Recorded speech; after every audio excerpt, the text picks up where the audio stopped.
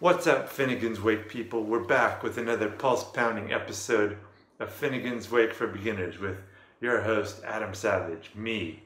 And today we're looking at a book called A Skeleton Key to Finnegan's Wake by Joseph Campbell in big letters and then Edward, no, Henry Morton Robinson in little letters because nobody knows who he is anymore. So I guess this was the first book I think that Joseph Campbell published, and it came out in I want to say 44, which uh, yeah 44 originally, just three years after Finnegan's Wake. Can you imagine the amount of times that Henry um, Morton Robinson and Joseph Campbell went through the uh, Finnegan's Wake in those three years, so that they could come up with a fat book, nearly as long, nearly as long as the book itself. It's Finnegan. No, that's not true. 362 pages or something. Uh, I did not read it all. I have not read all this. So caveat emptor or buyer beware or something. And um, I wanted to. I, that was my intention when I picked up this book because I thought, hey, a skeleton key to Finnegan's Wake. That sounds like a good way to start Finnegan's Wake. And I was kind of familiar with some of the information.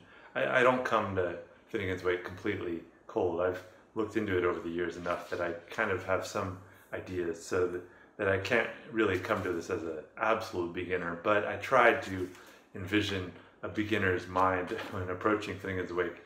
And I thought maybe this would be a good starting point because it, it seems to, you know, unlocking Joyce's masterwork, unlocking it like a key, like the title says, a skeleton key. Um, I don't know if you need a skeleton key if you're just opening one thing. Like, uh, you can just call it a key, right? skeleton key, isn't that the things like in video games where you can open any lock? I don't even know if those exist. Anyways, what I did read that I liked, um, let, let me talk a little about what this book is. So first, it starts off with kind of a general conceptual ideas. They do talk about characters. I know we talked before in this series about can we find characters in Finnegan's Wake? Their take is yes, that we can't find these characters. Here comes everybody, or Humphrey Chimpden, Air, Earwicker, HCE, uh, his wife Anna Olivia Plurabelle, ALP, their sons Shem and Shaun. Shem, the penman, who's kind of based on James Joyce, and Shaun, the other one, and their daughter, uh, what's her name? Isolt. That's right, Isolt. So those are kind of the main characters that we see in this family in Finnegan's Wake, and they do talk about that. That's kind of the intro material, and then there's a what I thought was the most useful in this book was the kind of brief outline, which is let me show you. It's um, so the book has four. Finnegan's Wake has four big sections based on this book that I haven't read yet, but I'm I'm familiar with. The, the gist of it is that um, Giambattista Vico. I think I'm saying that right because G I A. You say Ja, Ja, yeah, Giardino, Ja.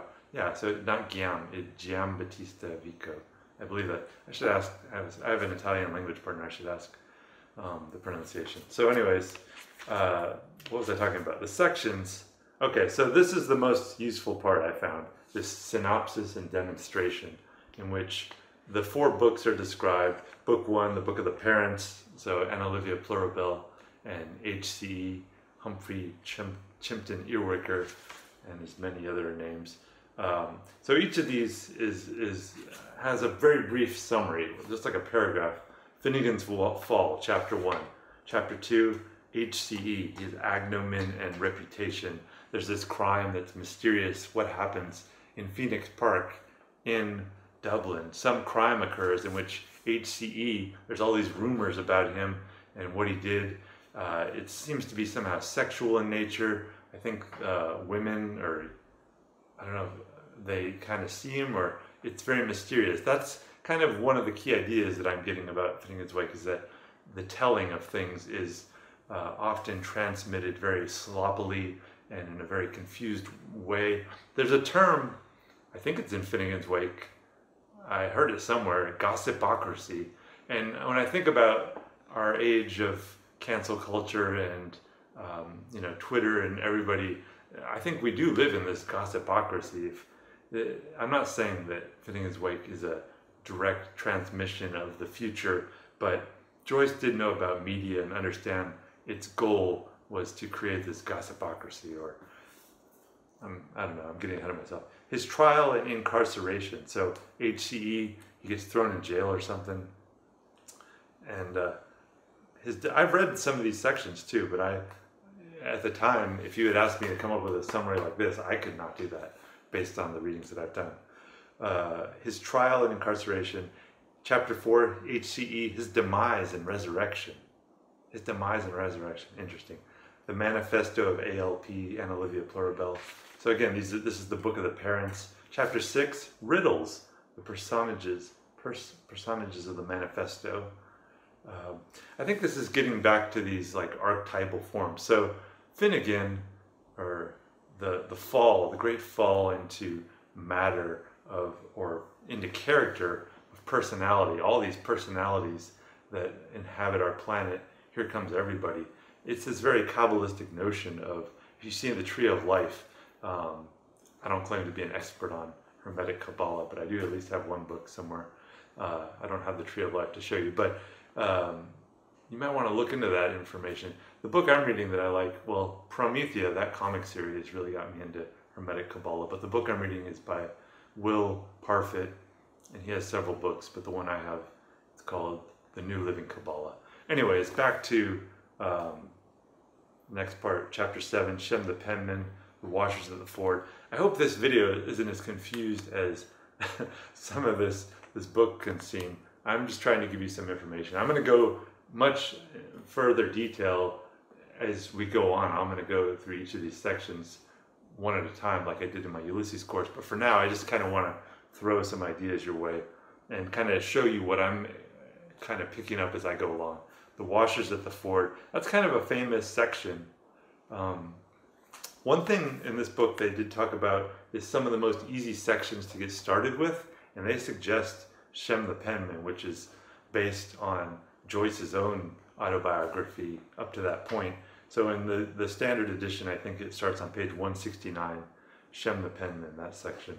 Okay, so washes the form. That, those are the book one sections. And then book two, the book of the sons. So this is a transition into a different Viconian age, John Battista Vico.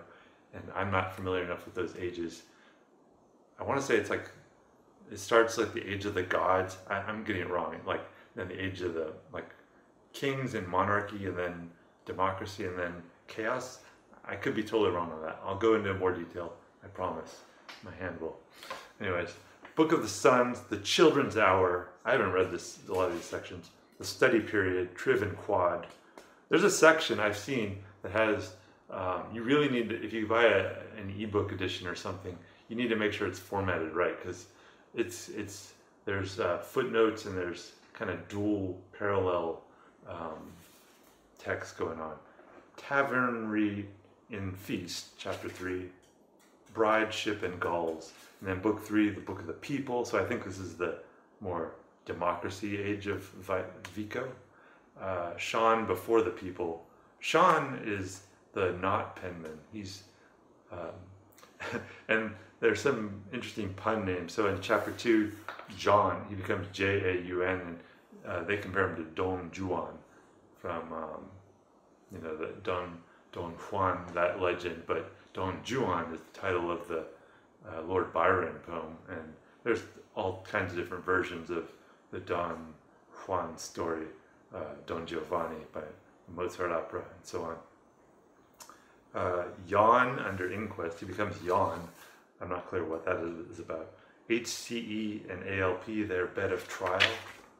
And then book four, Ricorso, Ricorso which is all leading back up to this, the loop back to the beginning, because the book is cyclical in form. So this was the most helpful part of this book for me. I thought those were very simple and concise. Obviously, a lot of details are left out, but they're good for starting. I, I read this section, these sections twice. I'll maybe I'll probably read them again at some point down the line because uh, then the, the next part is where it starts to kind of lose me because I and I, I kind of question the utility of this book for a beginner when it actually gets into the main sections because there are I thought it was going to be more of a summary too, but it's actually just a conversion of a lot of the text from Finnegans Wake into a slightly more standardized English. Uh, but let me just read it a little bit. So the cad, swift to make errors, stern to check himself, realizing that he was here having to do with a type of Paleolithic caveman ethics, bade the man good morrow, a little taken aback all the same, that was all the o'clock. Okay, so, so you can see that uh, this is not exactly the easy uh, un- to understand. Like, okay, the beginning part with the summaries, let me read some of that. A half trustworthy account is given of the earliest days of HCE how he came by his curious name. Pretty simple and straightforward reading, right? That's pretty easy. But the rest of the book, it's just, you know, it's it's practically just one shade slightly easier, just very slightly easier than the book itself. Can you do her numb? asks Dolph, the Trouveler, suspecting the answer. No. I can't. Can you, Nini? asks Neb. Okay, so you're, you're like practically lost as you are reading Finnegans Wake. So at this point, I decided, I read, I don't know how many pages of that, 40, 50 pages, and I said, okay, I wasn't enjoying this, and I wasn't really, I didn't feel like I was gaining any structural ground or understanding, so I decided to stop at that book. So can I recommend this book for a beginner? Just the beginning part. Um, maybe go into a library or find a PDF or something online and read the first, uh, in this edition, you know, read until about page 35 and then you're you're you're done and then move on to other books. I have some other resources i've been looking at that i'm going to talk about in future videos but for now i just wanted to touch on this because i think a lot of people when they start finnegans wake this is one of the most well-known books about finnegans wake summarizing it. Um, we have heard in this course about other books.